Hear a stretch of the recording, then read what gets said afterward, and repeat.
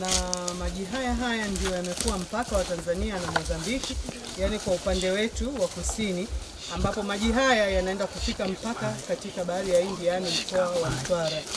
Kwa jinsi yalivyo ni padogo sana, lakini matunda yake ni makubwa zaidi ambavyo tunaona na maji haya wengine wameyachepusha kwa njia moja ama nyingine, lakini pamoja na kuchepushwa kwake hakukusababisha kwamba kuathiri kitu chochote. Yanafaa kwa kunywa, yanatumika kama baraka. Watu wanakujaga hapa kwenye vyanzo vya maji, waga kuna baraka nyingi sana.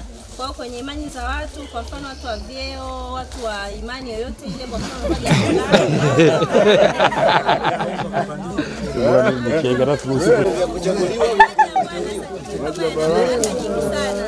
ya na ukubwa, wengine wanakujaga kuyachukua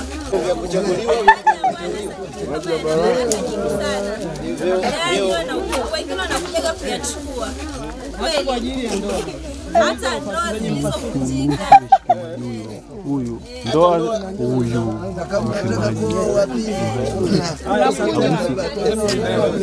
Nenda